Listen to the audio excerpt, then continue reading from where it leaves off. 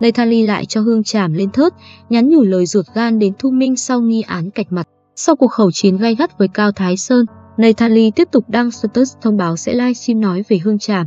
Đáng chú ý, Hương Tràm lại là một người bạn thân thiết của Cao Thái Sơn, nên cộng đồng mạng vô cùng tò mò không biết Nathalie sẽ bóc phốt hay nói tốt về nữ ca sĩ.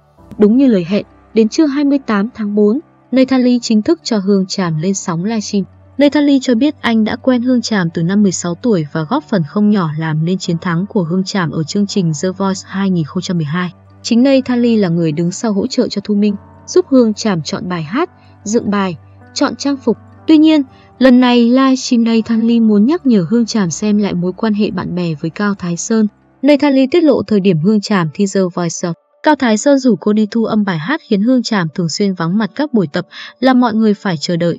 Nói về nguyên nhân nhắc đến Hương Tràm, nơi Nathalie bộc bạch do thấy Cao Thái Sơn ở nhiều nhà Hương Tràm khi qua Mỹ nên muốn nhắc nhiều nữ ca sĩ tránh xa bạn xấu.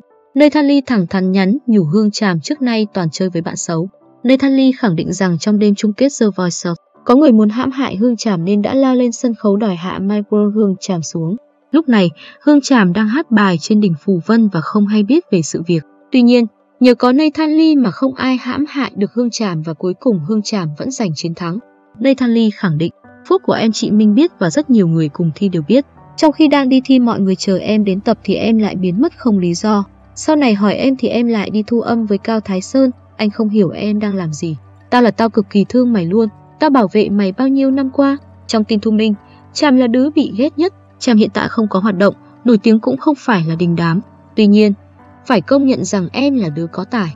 Thành công của Tràm hiện tại là cũng là do một phần tài năng của em. Ngoài ra, Nathalie còn nhắc đến Thu Minh trong buổi livestream. Điều này khiến người hâm mộ đặc biệt chú ý vì Thu Minh được cho là đã cạch mặt học trò sau cuộc thi. Nathalie khẳng định Hương Tràm là người có tài, hát cực kỳ hay, giọng đẹp hiếm có, tính cách cũng không xấu nhưng lại quá ngu ngơ, trẻ con. Phải chăng Nathalie đang muốn đứng ra giảng hòa, xóa bỏ hiềm khích giữa Thu Minh và học trò cũ? Trong quá khứ, Nathan Lee và Thu Minh vốn cực kỳ thân thiết, nữ ca sĩ có thể thoải mái gọi Nathan Lee là chó con. Anh chàng cũng từng tuyên bố chẳng bao giờ nghe nhạc Việt trừ những bài mà Thu Minh hát. Hiếm có đồng nghiệp nam nào có thể vô tư nữ ôm hôn ca sĩ sinh năm 1977 ở ngay trốn đông người như đàn em kém 6 tuổi. Có thời gian, cặp đôi thân đến mức còn tìm nơi ở chỉ cách nhau 5 phút đi bộ để tiện gặp gỡ. Nhắc về tình bạn này, Nathan Lee cho biết, Thu Minh luôn cho tôi có một cảm giác an toàn và thoải mái vì chị rất hiểu tôi. Chúng tôi như một gia đình luôn yêu thương nhau vô điều kiện trong mọi hoàn cảnh và anh cũng là người sẵn sàng lên tiếng bảo vệ mỗi khi đàn chị vướng phải ồn ào.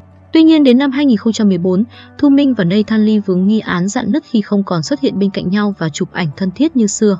Một số diễn đàn cũng xuất hiện nhiều nghi án xoay quanh việc cả hai nghỉ chơi nhưng không ai lên tiếng khẳng định hay phủ nhận. Suốt 7 năm qua, Thu Minh và Nathan Lee có thêm những mối quan hệ mới và vẫn giữ kín bí mật chuyện tình bạn của cả hai. Vào năm 2020, khi tham gia một talk show và bàn về âm nhạc của thị trường trong nước, Nathalie thẳng thắn cho biết không biết nhiều về V-pop nhưng luôn dành cho Thu Minh sự trân trọng đặc biệt. Điều này khiến không ít người cho rằng tin đồn cạch mặt giữa hai người là không đúng. Tuy nhiên lý do vì sao Thu Minh và Nathalie không còn thân thiết như xưa chỉ những người trong cuộc mới biết rõ. Về nhạc Việt thì nhạc của chị Thu Minh là tôi biết rõ nhất vì tôi sáng tác rất nhiều ca khúc cho chị. Tôi nghĩ người duy nhất mà tôi biết tất cả các bài đó là chị Minh. Với chị Thu Minh, tôi luôn dành tình cảm và sự ngưỡng mộ dành cho chị. Có nhiều người rất nhiều năm không gặp nhau nhưng tình cảm luôn ở đấy. Những kỷ niệm và thăng trầm sẽ luôn còn mãi. Tôi luôn muốn chị Thu Minh mãi hạnh phúc. Nathalie tâm sự. Đổi lại, nữ ca sĩ vẫn giữ im lặng, không có bất cứ động thái nào nhắc đến tên hay hình ảnh của Nathalie.